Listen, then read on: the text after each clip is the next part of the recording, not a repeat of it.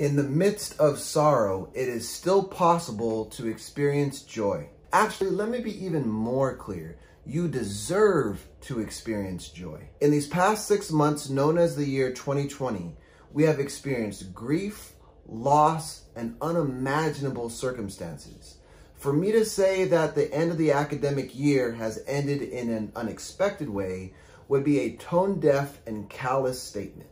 Families have had to cancel graduation celebrations. Some of our student athletes never got to play in their final season. Friends, families, and loved ones never got to embrace for the last time prior to graduating. So because we're empathetic and we care about others, it's understandable that sometimes we question or maybe even feel guilty about experiencing moments of joy because we don't want to invalidate or ignore others' pain. Guilt is a natural emotion that we experience because we're caring people, but the key factor here is guilt is a starting point and a call to action, not a place to get stuck. And believe me, I get it. I've been there myself. Sometimes we're so tired, overwhelmed, and exhausted that it would be so much easier to just stop and get stuck in that guilt. When we experience guilt, we can ground ourselves in gratitude, acknowledge our privilege, and keep going, all while still holding joy and happiness in our hearts. The following is a modified version of a message that I've seen shared on social media. Unfortunately, I don't know the author, but if you do, please go ahead and tag them. If you're not sure how to respond, listen.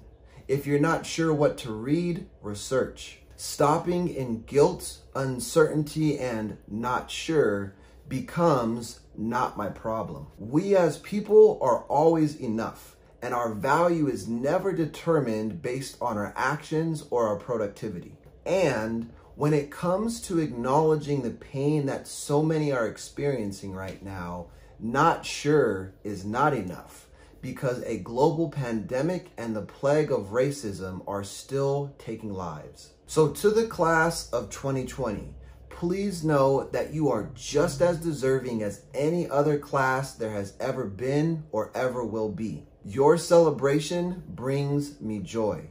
Your laughter lifts my spirit and your resilience brings me hope. If you're tired and weary, it's okay. If you're anxious and depressed, it's okay. And if you're irritated and angry about being asked about post-graduation plans, it's also okay. So rest, but please don't quit. All of us need you, your voice, and the unique gifts that only you can offer. You are worthy, you are deserving, and you are loved. Zara Anteater Nation.